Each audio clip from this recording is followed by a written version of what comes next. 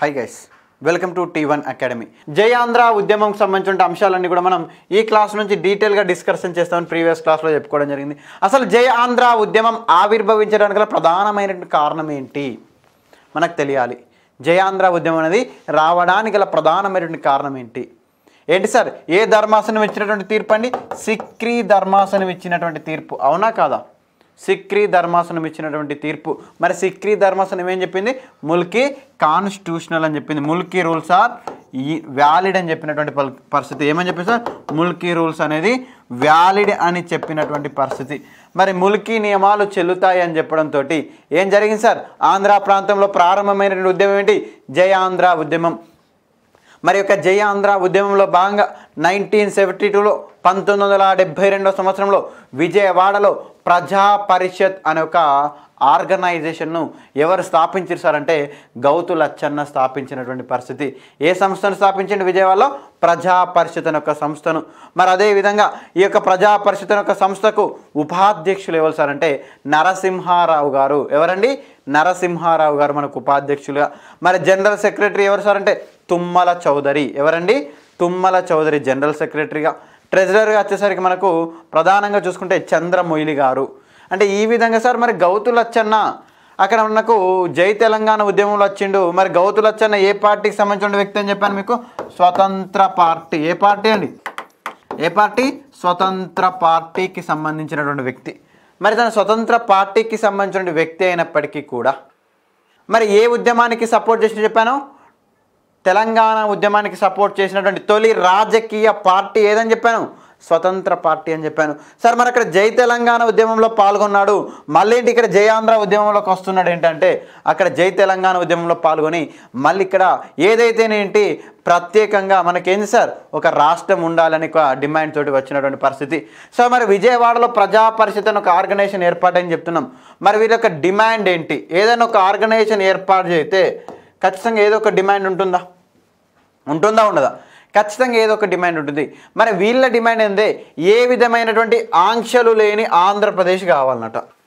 ఏ విధమైనటువంటి ఆంక్షలు లేని ప్రత్యేకమైనటువంటి ఆంధ్రప్రదేశ్ ఆంక్షలు లేని ప్రత్యేక ఆంధ్రప్రదేశ్ కావాలి. ప్రత్యేక ఆంధ్రప్రదేశ్ కావాలని వీళ్ళ డిమాండ్ యొక్క పరిస్థితి. ఏ విధమైనటువంటి ఆంక్షలు లేనటువంటి ప్రత్యేకమైనటువంటి ఆంధ్రప్రదేశ్ ఏర్పడాలని మనకు అన్నటువంటి పరిస్థితి. మరి అదే విధంగా ఈ యొక్క ఆర్గనైజేషన్ మనకు గౌతుల అచ్చన్న ఆధ్వర్యంలో స్థాపించబడింది. మరి అదేవిధంగా సేమ్ నైన్టీన్ సెవెంటీ టూలో పంతొమ్మిది వందల డెబ్బై రెండో సంవత్సరంలో ఆంధ్రసేన యువజన సంఘము. ఏ సంఘం అండి? ఆంధ్రసేన యువజన సంఘం అనే ఒక సంస్థ స్థాపించబడింది. ఏ సంఘం అండి? ఆంధ్రసేన యువజన సంఘము. మరి ఇది ఎవరి ఆధ్వర్యంలో స్థాపించబడింది సార్ అంటే స్టూడెంట్ లీ- లీడర్ అయినటువంటి జానకి రామ్ గారి ఆధ్వర్యంలో. ఎవరి ఆధ్వర్యంలో అండి? స్టూడెంట్ లీడర్ అయినటువంటి జానకీరామ్ గారి ఆధ్వర్యంలో నైన్టీన్ సెవెంటీ టూలో ఈ యొక్క సంస్థ అనేది స్థాపించబడింది. మరి యొక్క సంస్థ స్థాపించబడిన తర్వాత దీన్ని ఎక్కడ మెర్జ్ చేశారు సార్? తర్వాత కాలంలో తదనంతర కాలంలో అంటే యూత్ కాంగ్రెస్లో. ఎక్కడండి? Youth congress. ఎక్కడండి? యూత్ కాంగ్రెస్లో మెర్జ్ అయినటువంటి ఆ జయాంధ్ర ఉద్యమంలో పార్టిసిపేట్ చేసింది sir? Andhrasena Yuvajana Sangham. It was formed in nineteen seventy టూలో ఎవరు ఫౌండ్ చేశారు దీన్ని ఎవరు స్థాపించారు? జానకీరామ్ అనే ఒక విద్యార్థి నాయకుడు స్థాపించినటువంటి పరిస్థితి.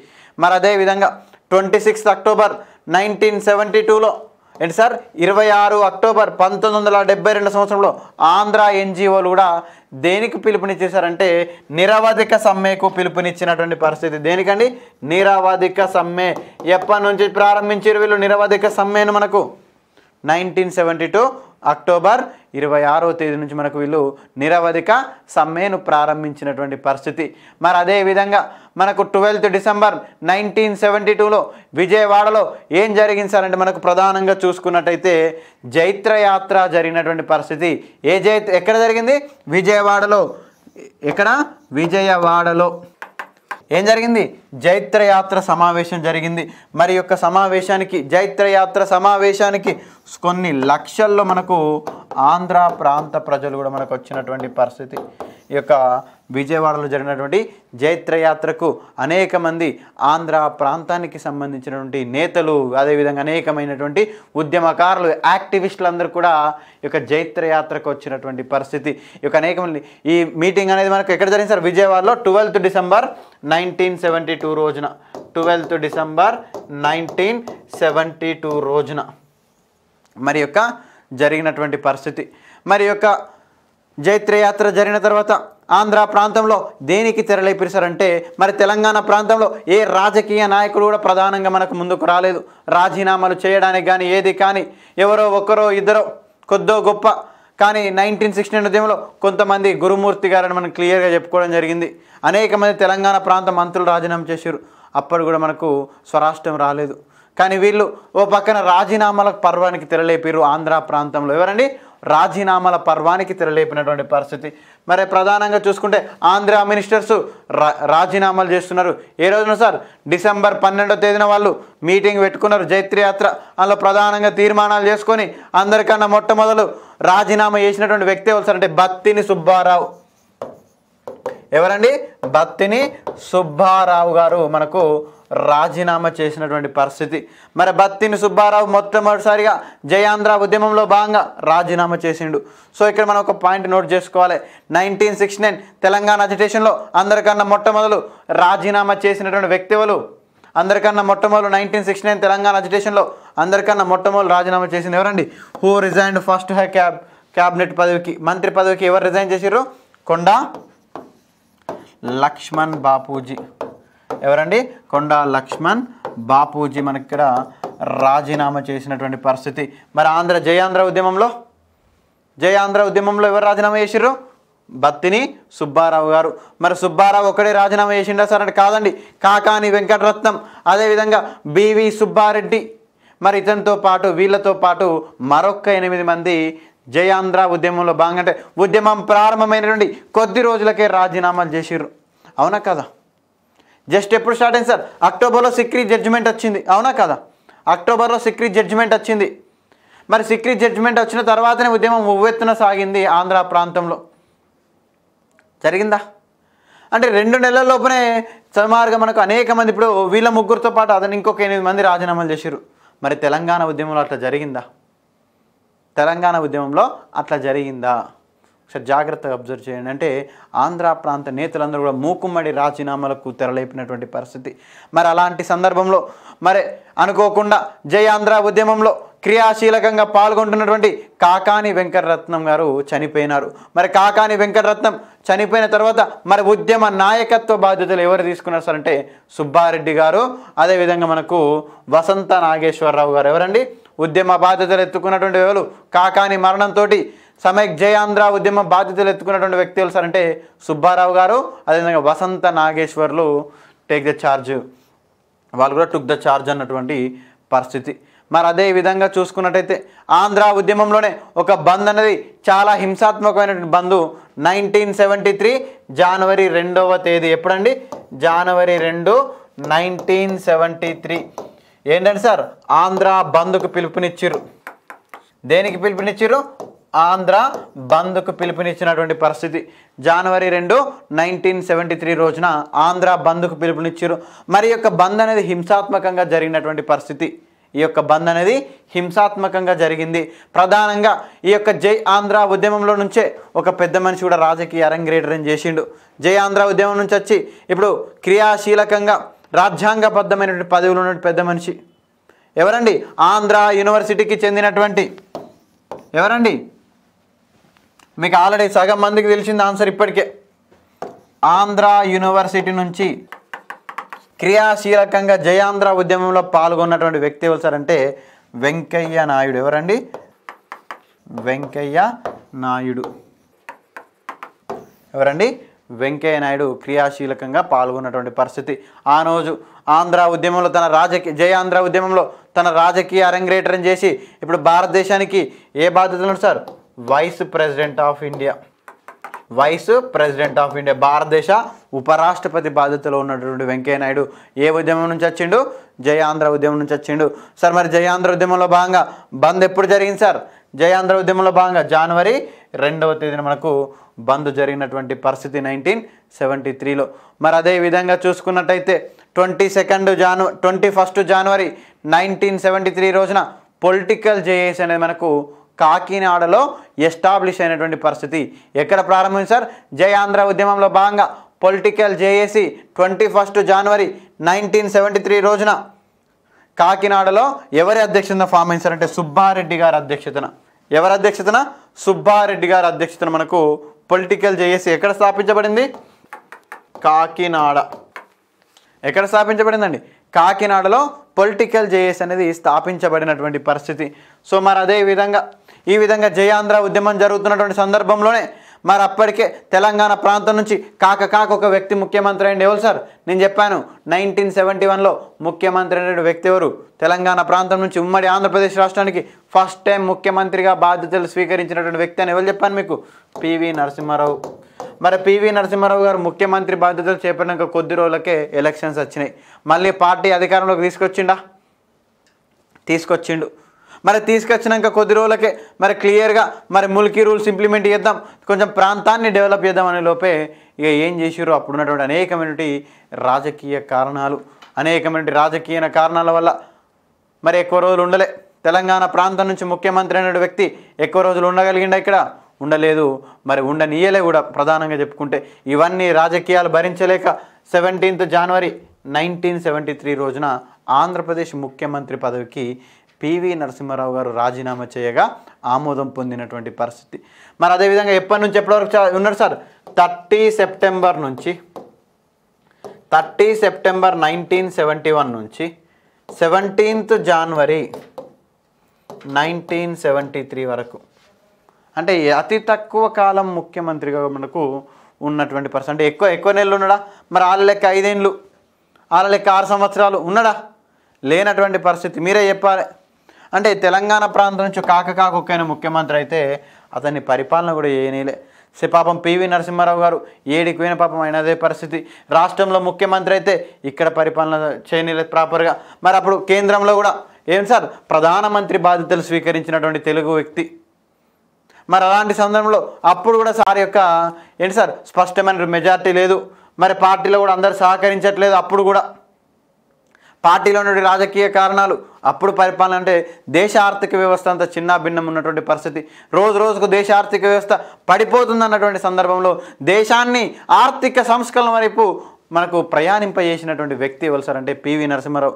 అలాంటి గొప్ప యోధుడికి ఎప్పుడు కూడా రాజకీయంగా చాలా ఇబ్బందులు జరిగినాయి. రాజకీయంగా ఉన్నత స్థాయి పదవులు వచ్చినప్పటికి కూడా ఉన్నత స్థాయి పదవులు వచ్చినప్పటికీ కూడా ఏం జరిగింది సార్? అనేకమైనటువంటి ఇన్సిడెంట్స్ ఎక్కడ అతన్ని పరిపాలన చేయనీయలే ప్రాపర్గా.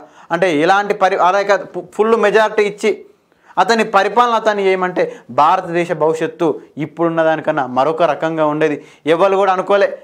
ఏంటి సార్? రాజకీయ నాయకుడిని ఎక్కువ శాతం మనకు ఆర్థిక మంత్రిని చేస్తారు. అవునా కాదా?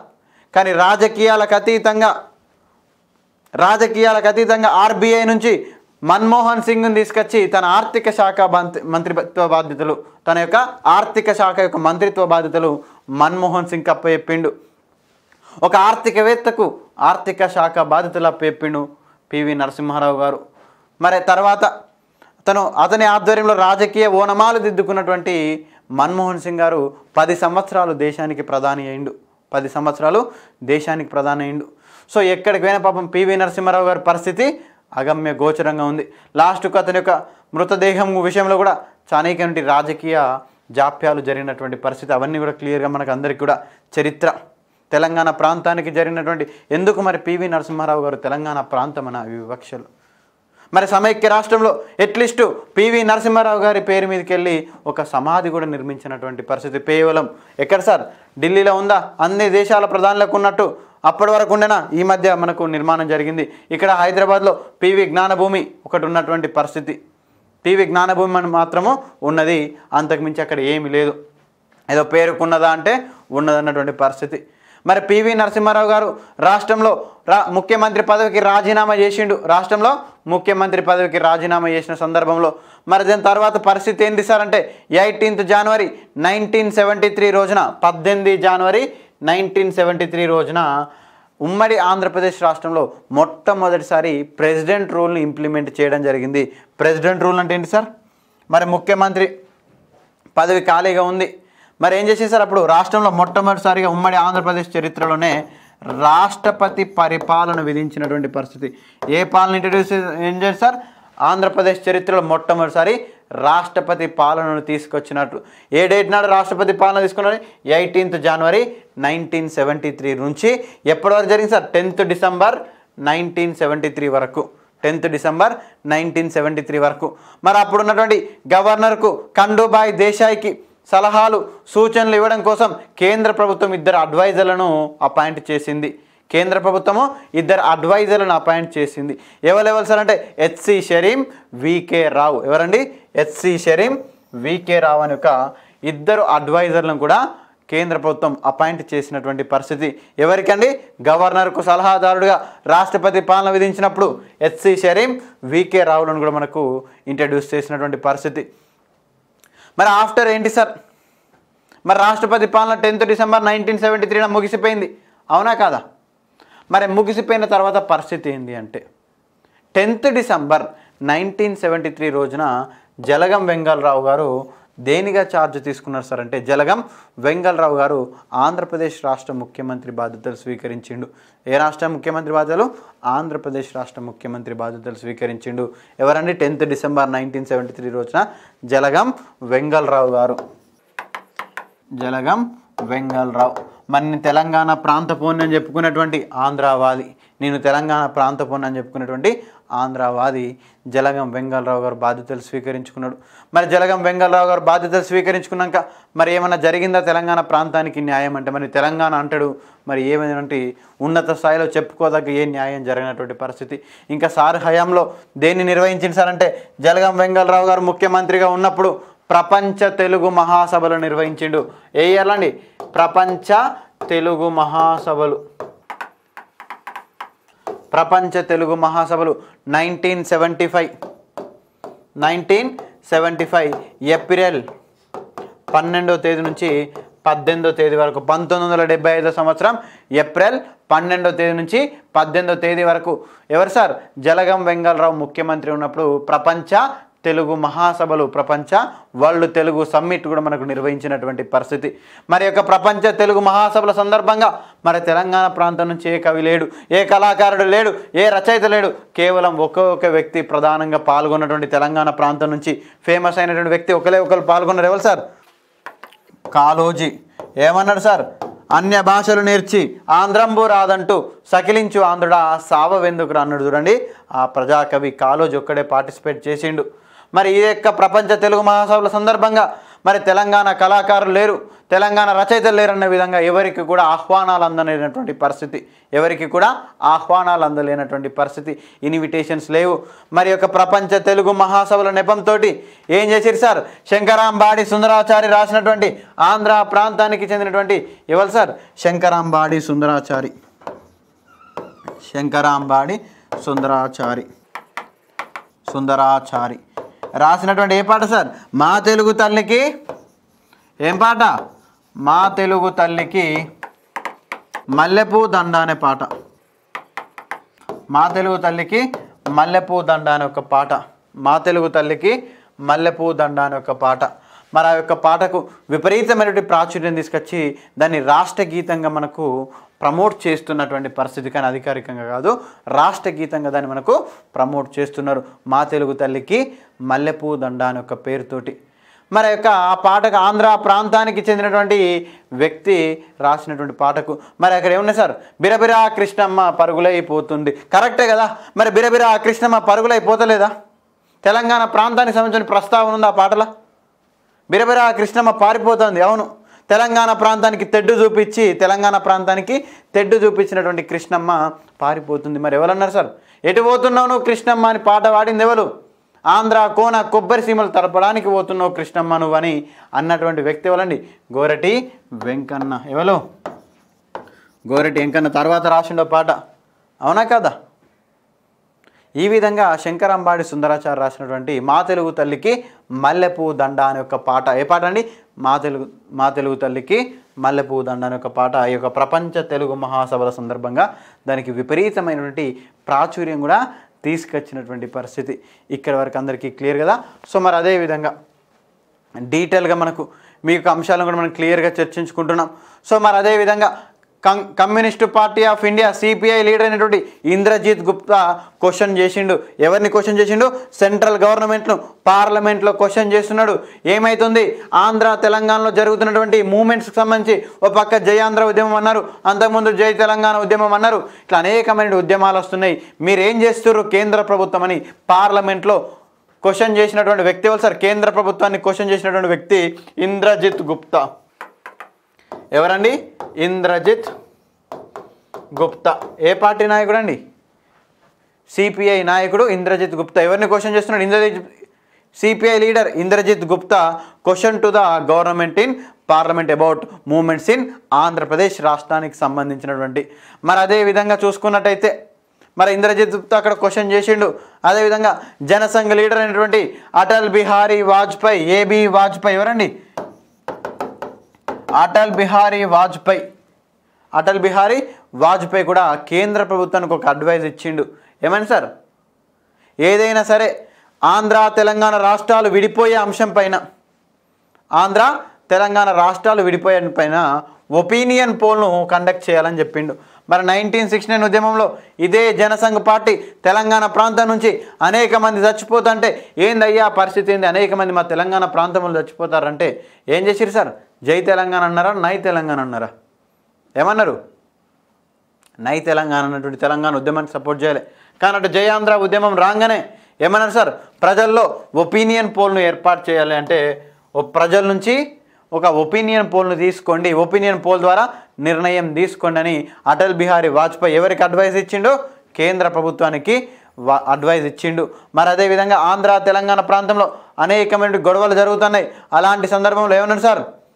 ఆంధ్ర తెలంగాణ రాజీ క్యా కరేంగి ఇందిరాజీ అన్నటువంటి వ్యక్తి ఎవరు సార్ అంటే అటల్ బిహారీ వాజ్పేయి గారు. ఈ స్టే- స్టేట్మెంట్ జాగ్రత్తగా గుర్తుంచుకోండి. ఈ యొక్క స్టేట్మెంటు జాగ్రత్తగా గుర్తుంచుకోండి. ఏమన్నా సార్? ఆంధ్ర తెలంగాణ రాజీ క్యా కరేంగి ఇందిరాజీ అని ఒక స్టేట్మెంట్ ఇచ్చినటువంటి వ్యక్తి ఎవరండి? అటల్ బిహారీ వాజ్పేయి గారు. అదేవిధంగా రెండు తెలుగు రాష్ట్ర ఇంకొకటి ఏమన్నారు సార్? అజయ ఆంధ్ర ఉద్యమం ప్రారంభమైన అటల్ బిహారీ వాజ్పేయి గారు రెండు తెలుగు రాష్ట్రాలు విడిపోయినంత మాత్రాన భూకంపం ఏం రాబోదు అని చెప్పింది సార్. ఏమని చెప్పింది సార్? రెండు తెలుగు రాష్ట్రాలు విడిపోయినంత మాత్రాన భూకంపం ఏది రాదు. రెండు తెలుగు రాష్ట్రాలను విడదీయండి అని మనకు ఎవరన్నారు సార్? అటల్ బిహారీ వాజ్పేయి అన్నటువంటి పరిస్థితి. సో యొక్క పాయింట్స్ కూడా మీరు జాగ్రత్తగా గుర్తుంచుకోరు. అదేవిధంగా నైన్టీన్ సెవెంటీ వన్లో మరి ఎప్పుడో నైన్టీన్ మరి ఆ పార్టీని అయితే అందులో విలీనం చేసిండు ఎవరు సార్? మర్రి చెన్నారెడ్డి. మర్రి చెన్నారెడ్డి టీపీఎస్ పార్టీని ఎక్కడ విలీనం చేసిండు? కాంగ్రెస్లో విలీనం చేసిండు. అవునా కాదా?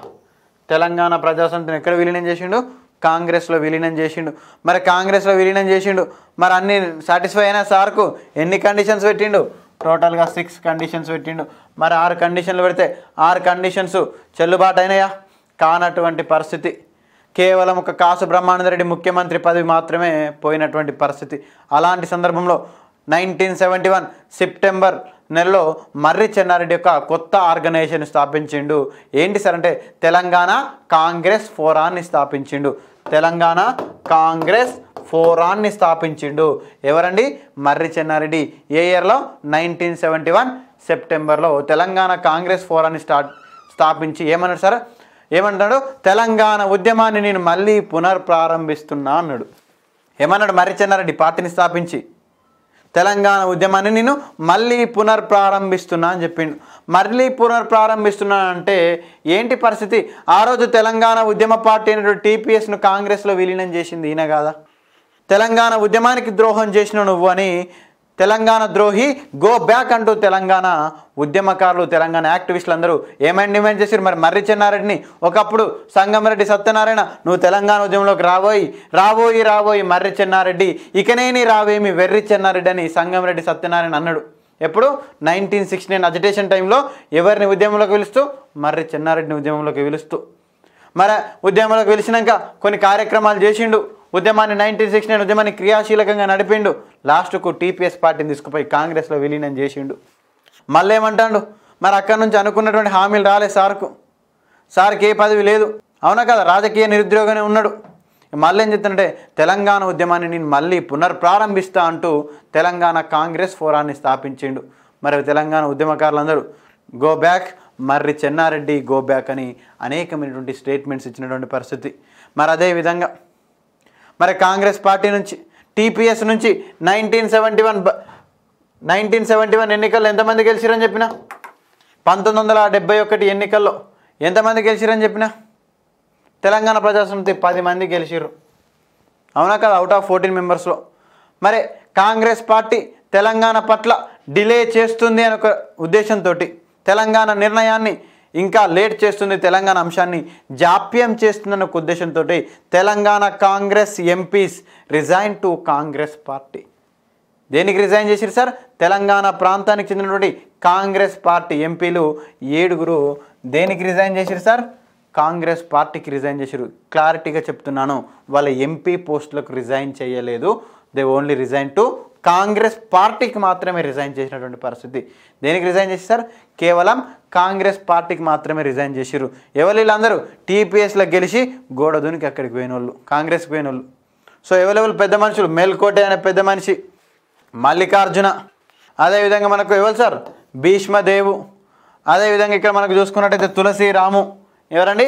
తులసిరామ్ గారు ఎంఎం హాసిం గారు. ఇంకెవరు సార్? రాజా రామేశ్వర్ గారు. అదేవిధంగా చూసుకుంటే రామకృష్ణారెడ్డి ఇలా పూర్తి స్థాయిలో ఎవరైతే అప్పుడు టీపీఎస్లో గెలిచి మళ్ళీ వాళ్ళు చూడండి పేర్లన్నీ అక్కడ గుర్తుకొస్తలేవా? టీపీఎస్లో గెలిచిన వాళ్ళని చెప్పినా? ఎస్ వాళ్ళే వీళ్ళందరూ కూడా మళ్ళీ కాంగ్రెస్ పార్టీకి రిజైన్ చేశారు. ఇందులోకి ఒకటి ప్రీవియస్ గ్రూప్ టూ క్వశ్చన్లో అడిగిండు. జాగ్రత్తగా గుర్తుంచుకోండి. సో ఈ విధంగా మనకు తెలంగాణ ఉద్యమంకి సంబంధించినటువంటి ఒక టాపిక్ ఈరోజు మనం కంప్లీట్ చేసుకోవడం జరిగింది. And till then bye bye please stay safe thank you